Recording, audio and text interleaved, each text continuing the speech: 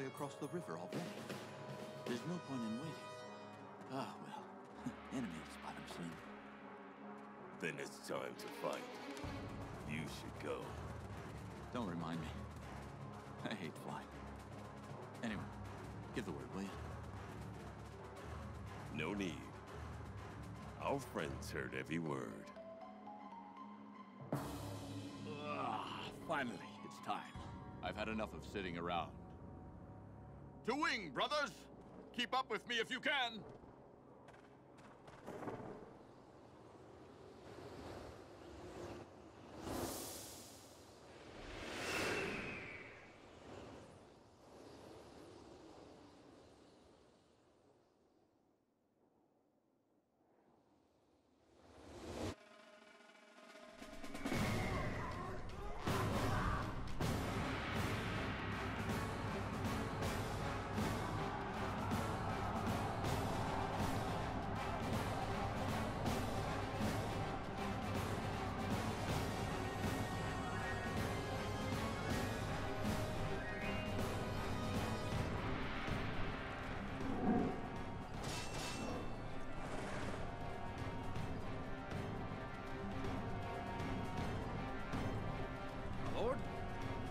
Nothing.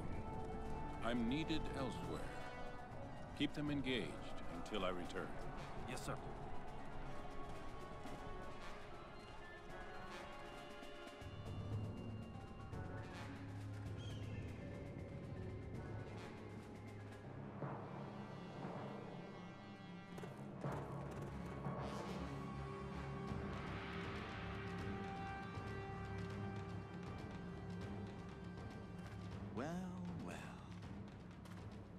Sorry to drop in unannounced. We thought it best to hunt the strongest prey first.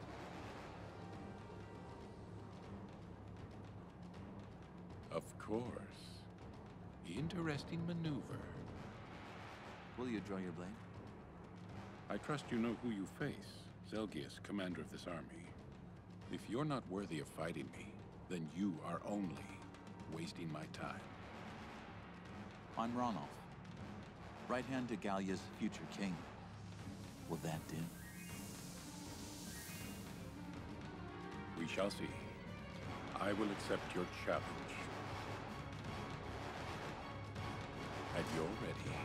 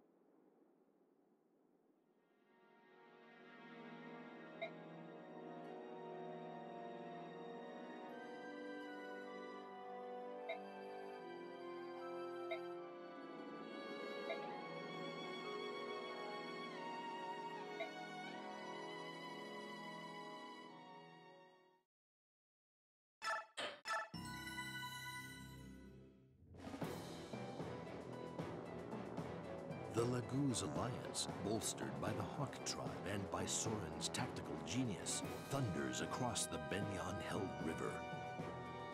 Emboldened by their success, they move east with amazing speed and capture the northern stronghold, Castle Celiora. The Laguz alliance has made a vital step in its march toward the Begnion capital, Sienne. Begnion has now lost a valuable defensive line in the Ribahn River, and the Central Army has been forced to retreat east, taking refuge in Castle Gaddos. The morale of the Begnion soldiers is kept high by their faith in General Zelgius, while the Begnion nobles smolder with resentment at their defeat.